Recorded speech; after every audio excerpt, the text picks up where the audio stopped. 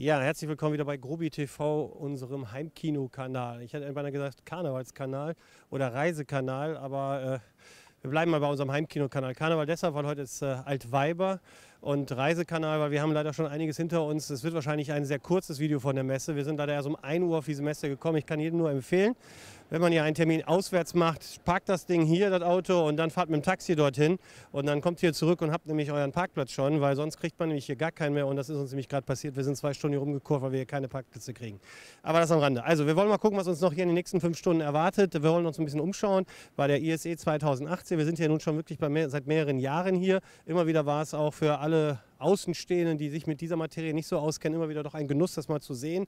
Und zwar eben mal zu gucken, was die großen Jungs hier spielen, mit ihren großen Beamern, mit ihrer großen vielleicht LED-Wand, die wir jetzt demnächst sehen können und noch einige mehr. Also ich will auch gar nicht so viel quatschen, wir müssen direkt rein und dann gucken wir mal, dass wir die letzten verbliebenen fünf Stunden noch nutzen können für die ein oder anderen Aufnahmen.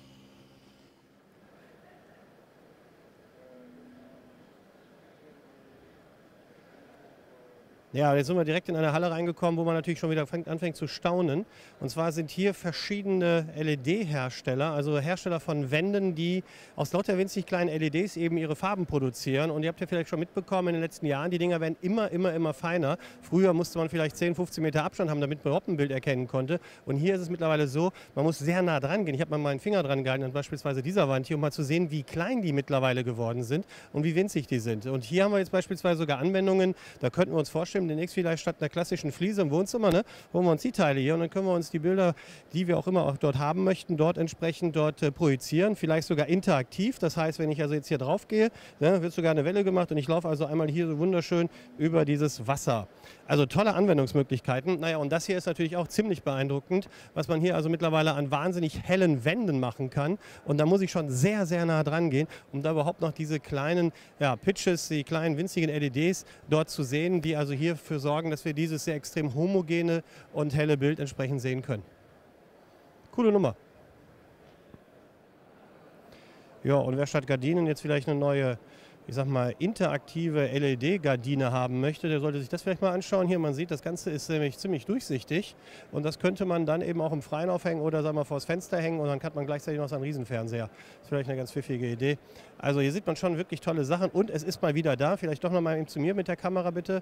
Es ist mal wieder der durchsichtige Bildschirm da. Leider bis heute in Deutschland relativ selten gesehen. Ich habe ihn schon mal vereinzelt gesehen, aber seit drei Jahren erzählen wir von dem Ding hier oder seit vier. Und es ist mal wieder schön zu sehen, wie das Ganze hier funktioniert.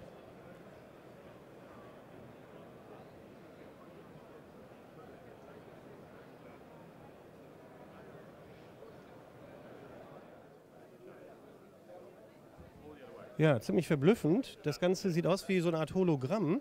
Ähm, gemacht wird es über einen Kurzdistanzbeamer und zwar ein ziemlich mächtiges Teil von Panasonic, was hier unten ist. Und dann wird es hier auf ein nahezu unsichtbares, ja, ich sag mal, eine Gitter ist es eigentlich, so eine Art Gardine, ganz, ganz, ganz, ganz fein, sodass man da noch durchgucken kann, eigentlich keine Struktur sehen kann. Und im Hintergrund läuft nochmal eine zweite Projektion, die auch wiederum mittels eines Kurzdistanzbeamers entsprechend äh, ja, ergänzende Bilder und ähnliches dazu projiziert. Also immer wieder verblüffend hier mit einer solchen Spezialleinwand, wobei von Leinwand können wir eigentlich kaum reden, weil wie gesagt, es ist so ein ganz, ganz feiner Gitter, Vlies, Netz, sowas in der Richtung kann man es eigentlich beschreiben, mit dem man hier mit einem extrem lichtstarken Beamer drauf projizieren kann. Und ja, dann bleibt man schon mal faszinierend stehen.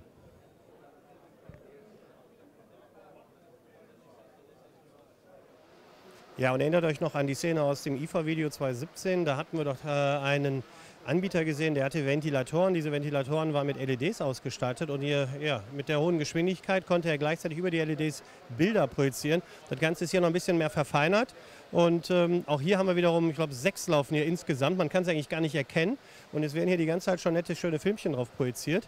Das Ganze ist natürlich sehr praktisch. Ne? Man hat einen Fernseher und gleichzeitig hat man immer schöne frische Luft da, weil das wirbelt ja schon ein bisschen hier mit dem Wind. Man sollte nur schauen, dass man einen gewissen Sicherheitsabstand einhält, weil sonst sind, genau, Fingerchen weg.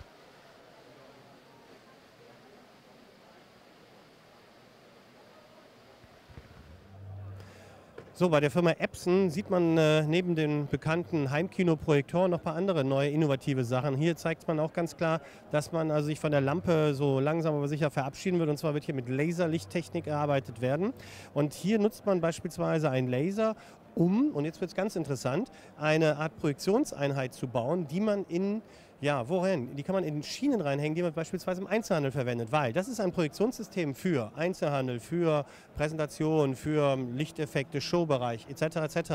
Wenn ich also so eine Schiene da oben hängen habe, wo normalerweise meistens meine klassischen Lampen drin sind, dann kann also dieses Projektionssystem, wo ein Laser drin ist, wo LCD-Technik drin ist mit einer Auflösung von WXGA, ja, dann kann ich da so diverseste Elemente an die Wand projizieren und das Ganze eben zugespielt über HDMI, über, ich glaube WLAN geht auch noch, über eine SD-Karte etc. etc.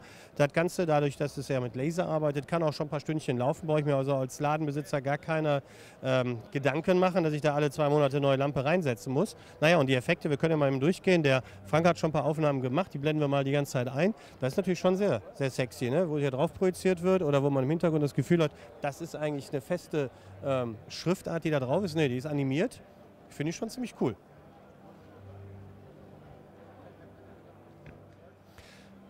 Ja, und das ist eines der absoluten Highlights hier im Projektionsbereich auf der Messe. Und zwar zeigt Epson hier einen Laser Projektor mit nativen 4K LCDs, der bis zu 12.000 Lumen hell sein soll.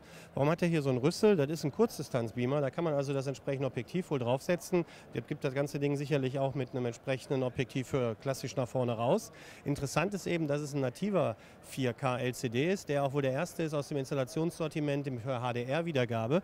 Naja, und bei diesem kurzen Abstand so ein extrem helles als auch äh, brillantes Bild. Man sieht keinerlei Pixelstruktur. Das kann sich schon sehen lassen. Kommt allerdings auch erst im Laufe des nächsten Jahres wohl, also Ende des äh, Jahres 2018 oder 2019, ist noch eine Kamera eingebaut, die auch noch für die Ausrichtung, Justage wohl zuständig ist. Also äh, macht dann auch eine selber Kalibrierung, habe ich gerade noch gesehen, was dahin eingeblendet wird. Schickes Ding. Und ähm, ja, man sieht, dass man mit dem Laser eben auf dem richtigen Weg ist. Man kann Laser eben mittlerweile schon auch in diesen kompakten Gehäusen mit verdammt viel Helligkeit bauen. Bei Christia auf dem Messestand, äh, das ist der Hersteller, den wir ja auch schon ausführlich mal präsentiert haben als Zulieferer und Lieferant der Laserprojektoren für die Dolby Cinemas, beispielsweise in Eindhoven oder auch in Salzburg. Hier auf dem Messestand sieht man unter anderem das hier. Ich wusste erst im Moment gar nicht, äh, dass die kleine Dinger bauen können, aber diese Beamer, die sie hier haben, die sind gar nicht jetzt in ehrlicherweise hier im Fokus, sondern was im Fokus ist, sind diese Kameras hier. Vielleicht mal kurz ein kleines technisches ähm, Lexika mal eben aufmachen. Und zwar, viele Projektionen werden mit Doppelprojektionen durchgeführt. Das heißt, es sind beispielsweise zwei Beamerbilder übereinander oder es werden Beamerbilder ähm, aneinander gesetzt. Und wenn da natürlich mechanisch sich mal irgendwas verstellt oder verschiebt, dann muss man das wirklich ja, von Hand wieder alles einstellen. Ja, das wird dann also auch äh, mit entsprechenden kleinen Schraubenziehern teilweise an den entsprechenden Aufhängern durchgeführt oder noch über andere elektronische Hilfsmittel.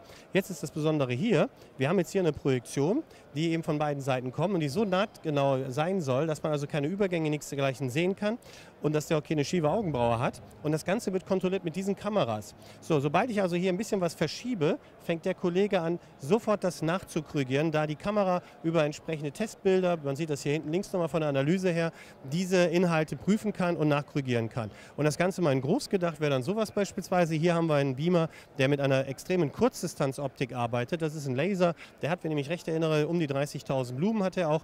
Der projiziert also hier direkt die untere Hälfte des Bildes und die obere Hälfte des Bildes wird dann dort über einen anderen zweiten Beamer projiziert, der da hinten sogar hängt. Also auch diese Kombinationen sind möglich, weil unter anderem diese Kameras jetzt die Übergänge sauber einjustieren. Man sieht teilweise hier bei der Lippe, dass da so ein Übergang nicht sehr sauber war und das wird ruckzuck korrigiert, was natürlich ganz spannend ist, wenn spätestens eine halbe Stunde vor so einer Veranstaltung, wo vielleicht mit so einer Anlage gearbeitet wird, sich etwas verstellt hat, dann fängt natürlich jeder Techniker an zu schwitzen, vorausgesetzt er ist auch da und sieht das Ganze. Naja, und hier müsste man in dem Fall wirklich nur die Elektronik starten und die Kameras machen das von alleine. Ziemlich beeindruckende Nummer. Also spät nichts im Wege, mit einem zweiten Beamer vielleicht demnächst zu Hause deutlich mehr Helligkeit zu bekommen, ohne dass man da umfangreich schrauben muss. Kurz mal bei dem Stand von AV Lang. Das ist ein sogenannter Ghost OLED, so heißt er doch tatsächlich, Geister OLED. Was ist hier? Wir haben hier ein OLED, also ein selbstleuchtendes Display, welches aber durchsichtig ist. 45 Prozent mehr oder weniger wie hat man das, Durchsichtigkeit oder Transmissivität, würde ich mal sagen, dafür steht das Ganze wohl. Naja, und jetzt haben wir hier ein paar nette Bildchen, man sieht aber trotzdem noch, was dahinter alles so passiert. Und das Ganze haben wir dann letztes Jahr sogar noch zeigen können mit einem interaktiven Touchpanel. Das heißt also, wie bei Star Wars kann ich dann hier mit den Fingern vielleicht sogar irgendwelche Funktionen aktivieren und zeigen und demonstrieren. Also Ghost OLED. Ich habe gerade nebenher so ein bisschen gehört, äh, es wäre ein Samsung-Panel, was aber wohl nicht mehr produziert wird. Wir wissen ja alle, dass Samsung und OLED irgendwie nicht zusammenpassen zurzeit, weil sie haben noch nichts im Markt, was jetzt final wieder mal da ist. Also LG eigentlich weiter vorne an. Aber das scheint noch ein bisschen äh, aus der sogenannten Samsung-Generation zu sein. Es soll wohl zum Jahresende das Ganze auch wieder kaufbar sein, von wem oder wie auch immer. Ich finde es immer wieder faszinierend, wie man da so durchgucken kann und trotzdem so ein wahnsinnig helles, kontrastreiches Bild hat, was eben von sich aus leuchtet. Deshalb eben kein LCD, sondern eben OLED. So, der gute Ralf, äh, was haben wir? Dritter Tag, vierter Tag, fünfter Tag? Heute ist der, ähm, muss ich selbst mal überlegen, der dritte Tag, genau. Okay, also wir haben ja, weil wir ein paar Stunden verloren haben wegen Parkplatzsuche, haben wir nicht so viel Zeit. Wir geben mal Gas. Das ist jetzt eure neueste Leinwand. Das ist die kleinste der Welt mit einem was für ein Tuch? ja, wir zeigen hier an diesem Modell ähm, unsere neue Balon Borderless. Das ist eine rahmenlose Leinwand. Hier jetzt in groß zu sehen. Ähm, die ist konfigurierbar mit allen unseren Materialien, wie man das von Stuart gewohnt ist. Auch äh, wie hier schalldurchlässig oder nicht schalldurchlässig. Und ähm, kann entweder bündig an die Wand montiert werden oder aber auch mit verschiedenen Abstandshaltern ähm, entsprechend von der Wand entfernt montiert werden, ähm, damit man dahinter Lautsprecher unterbringt. Ähm, was auch noch sehr schön ist ähm, mit dieser Leinwand, dass man sie eben bündig in der Wand äh, integrieren kann und es, sie hat halt nicht mehr diesen schwarzen Rahmen, den halt manche Leute nicht mögen. Ähm, da gab es viele, viele Anfragen für so ein Produkt. Jetzt haben wir es da. Borderless heißt also für euch rahmenlos, kann ich das so verstehen? Ja, natürlich, ja. Okay, alles klar. Also das ist das ein klein, das heißt, ich könnte mir noch eine schöne kleine LED-Beleuchtung dahinter setzen. Das Ganze schwebt so mehr oder weniger vor der Wand. Ja, ich habe dahinter meine Lautsprecher, wie das jetzt hier auch bei euch gemacht worden ist, und habe dann hier mein mikroperforiertes Tuch mit meinen wunderschönen Diamantnadeln. Genau. Da sind sie wieder. Es gibt ja bald kein Video mehr ohne Diamantnadeln. Okay, das haben wir da. Und dann habe ich gesehen, hier haben wir einen Vergleich nochmal mit einer StudioTech 100 gegenüber einer Phantom, was bei diesen Lichtverhältnissen ja schon beeindruckend ist, je nachdem, was für ein Motiv da ist. Ja, man sieht halt an so einer Splitscreen doch sehr schön, ähm, was so eine Phantom Atom im Prinzip kann und wie wichtig das Thema Leinwand ist, wenn ich eben schlechte Lichtverhältnisse habe. Wir haben ja hier jetzt auch rechts und links diese Strahler ähm, und dennoch ähm, sieht man, dass so eine Phantom selbst unter solchen Lichtbedingungen noch funktioniert. Und jetzt kommen wir zu der eigentlichen Lösung, Tata. Also für alle die, die ein schönes großes Wohnzimmer haben und da vielleicht direkt noch einen schönen großen Garten haben mit einer größeren schönen Scheibe, wo man vom Wohnzimmer in den Garten schauen kann und äh, man möchte vom Wohnzimmer auf die Leinwand schauen, aber man möchte auch vom Garten auf die Leinwand schauen. Gibt es von euch eine sehr kreative Lösung, die anscheinend, vermute ich mal, in Los Angeles irgendwo mal in einem schönen Garten mit einem großen Wohnzimmer äh, entstanden ist, oder? Äh, ja, in der Tat. Es gibt schon zahlreiche Projekte, wo man das dann jetzt bisher mit zwei Leinwänden gelöst hat. Das heißt, man hat halt zwei Kästen, die montiert werden müssen, man hat zwei Steuerungen und so weiter. Ähm, Stuart hat jetzt hier quasi zwei Leinwände in einer gebaut ähm, und kann die komplett individuell konfigurieren. Entweder, so wie du gerade gesagt hast, mit dem Beispiel eine Frontprojektionsleinwand, eine Rückprojektionsleinwand. Ähm, oder aber auch, ich kann sagen, ich spare mir eine Maskierung in der Leinwand ähm, und ähm, habe eine Leinwand in 16 zu 9, zum Beispiel mit einer Phantom, um jetzt abends Fernsehen äh, damit zu können, also Fernsehen schauen zu können mit Licht im Zimmer. Und wenn ihr sagt, ich will jetzt aber einen Film schauen und mache das Licht aus im Zimmer, dann fährt die Phantom hoch und es fährt eine zum Beispiel 21 zu 9 Leinwand runter mit einem Studio-Tag oder mit einem Greyhawk. Ja, also das kann ich auch komplett individuell ähm, gestalten. Ich kann verschiedenste Formate fahren. Jetzt zum Beispiel fährt die Phantom hoch und die ähm, Studio-Tag in dem Fall fährt jetzt runter, ja, mit 21 zu 9 jetzt. Ne? Und so brauche ich auch keine Maskierung, weil ich halt schon nativ die Bildformate direkt äh, quasi habe, wie ich sie brauche. Ja.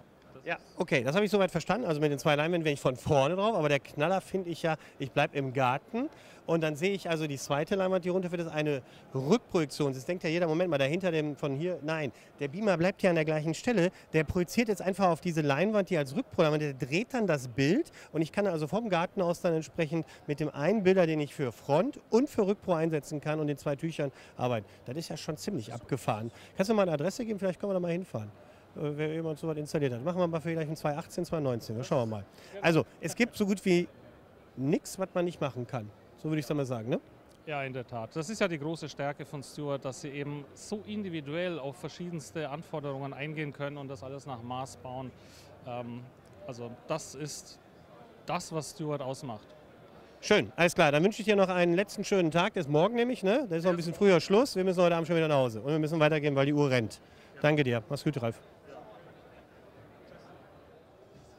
Okay, so, wir sind hier mal kurz auf dem Stand von Stealth Acoustics. Stealth Acoustics ist ein Hersteller von unsichtbaren Lautsprechern, unter anderem. Und wir haben ja bei uns in unserem Studio, haben wir ja unter anderem so eine solche Wand gebaut, weil wir immer wieder festgestellt haben, die Leute gucken uns ungläubig an, wenn wir von unsichtbaren Lautsprechern sprechen, weil alle denken immer, das muss sich anhören wie Mittelwellenradio. Aber nee, das ist richtig kraftvoll. Jeder, der das schon mal bei uns gehört hat, setzt sich immer gerne bei uns in die Ecke, da in die Ledercouch und sagt, wow, was ist denn jetzt los? Ich sehe nichts, aber ich höre es überall. Also, was haben wir hier? Die Wände sind mal wieder hier mit diesen Lautsprechern verbaut worden. Das ist eine schicke Sache. Aber für Leute, die vielleicht das Ganze doch sehen möchten, gibt es auch Lautsprecherlösungen aus dem Hause Sales Acoustics, die wir dann eben auch anbieten, wo man sein Lieblingsmotiv vom letzten Urlaub vielleicht installieren kann. Und jetzt wird vielleicht auffallen, hm, einer rechts, einer links, das kann ich mir gut vorstellen, das sind Lautsprecher und so ist es.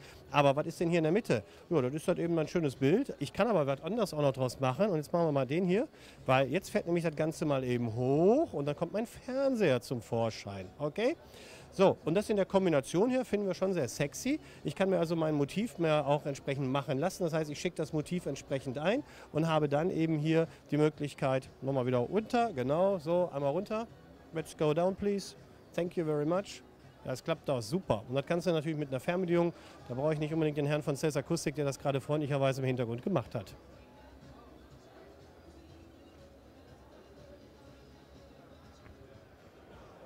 Ja, wer bei uns schon mal im Grobi-Kino gewesen ist, hat vielleicht diese Lautsprecher schon gehört. Und zwar haben wir hier von Akustik Lautsprecher, die sich auch wirklich sehr auszeichnen, dadurch, dass die unter anderem nur 7 cm tief sind.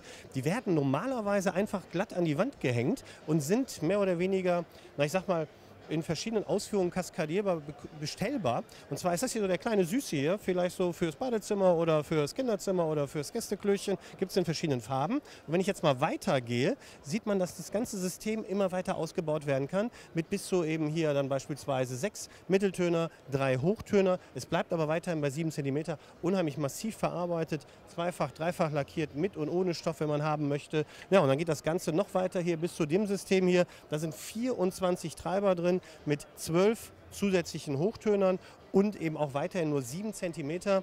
Einfach mit zwei Schrauben an der Wand dran, kommt das klassische Kabel rein und von der Höhe her passt das sogar perfekt noch zu meinem 85 Zoll Fernseher. Also optisch sieht das auch sehr gut aus. Naja, und wenn ich möchte, könnte ich natürlich auch in der Wand einlassen, dass er bündig vorne abschließt. Wir haben das ja mal gezeigt in der Wohnung in Gießen, könnt ihr euch noch daran erinnern. Auch das haben wir gemacht. Also wir finden dieses Konzept sehr schick und sehr schön und wie gesagt, bei uns im Grubi-Kino installiert, kann man sich jetzt bereits schon anhören.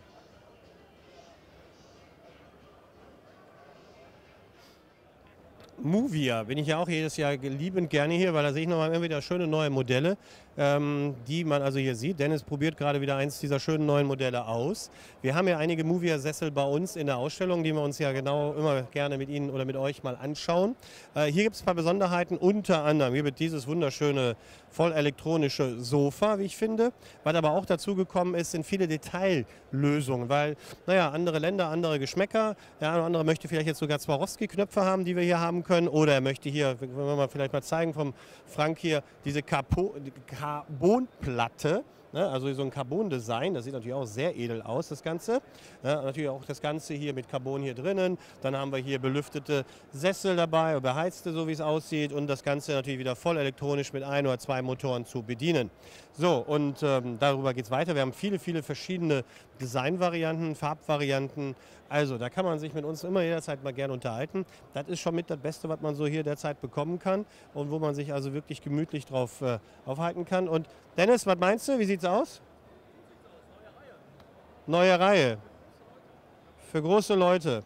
Ja, und Dennis ist unser Starverkäufer bei den Movia-Sesseln. Da gibt es schon so manchen glücklichen Besitzer.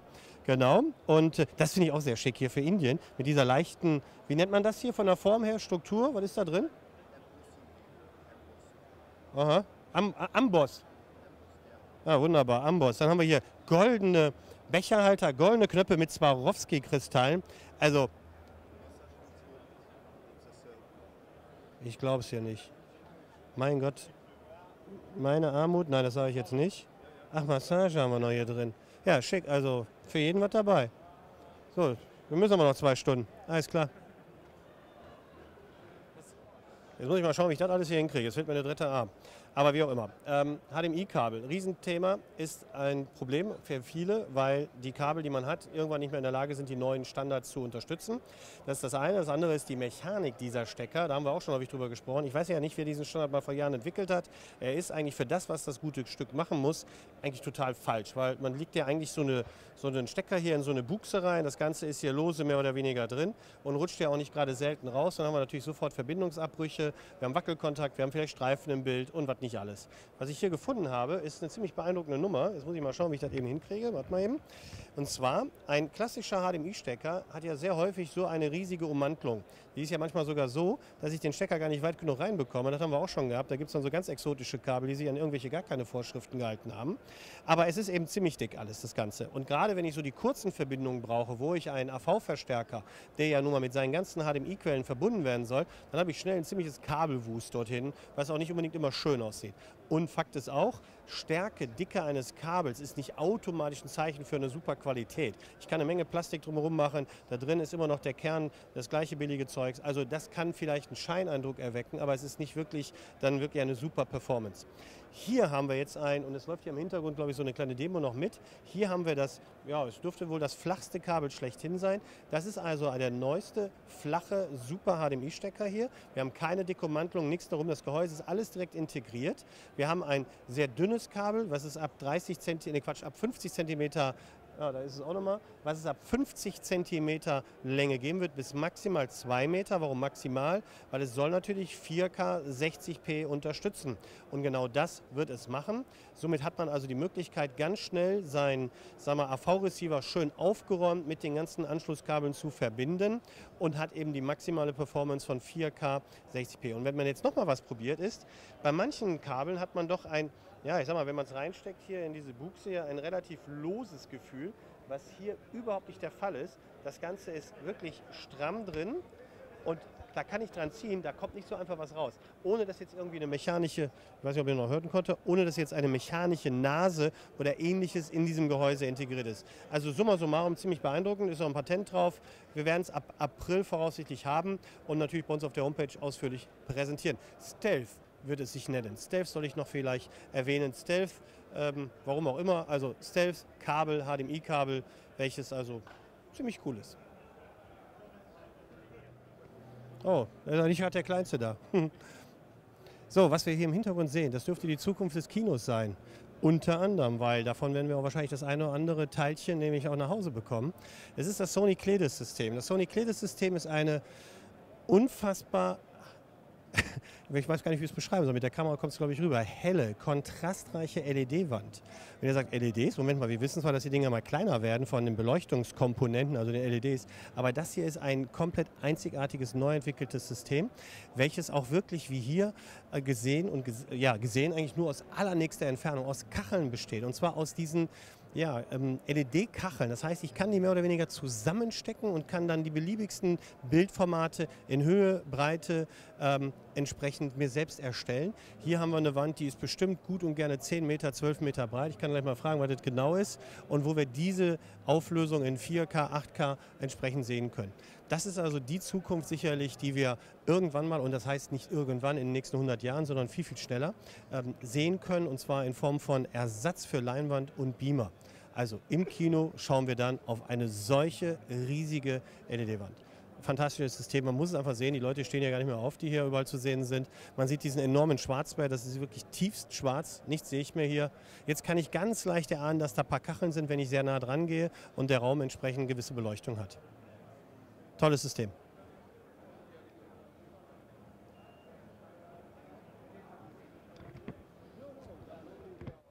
Jo, es ist Viertel nach sieben gleich und man hat uns fast hier rausgetragen, weil um 18 Uhr endet offiziell die Messe und ich hatte es ja schon am Anfang gesagt, das könnte sein, dass das das kürzeste Video ever wird von der ISE und dieses Jahr ist es dann leider doch soweit, weil die Zeit hat einfach nicht gereicht, um noch mal in Ruhe die eine oder andere Aufnahme zu machen. Wir mussten ja schließlich auch noch einige Gespräche führen, die wir geführt haben.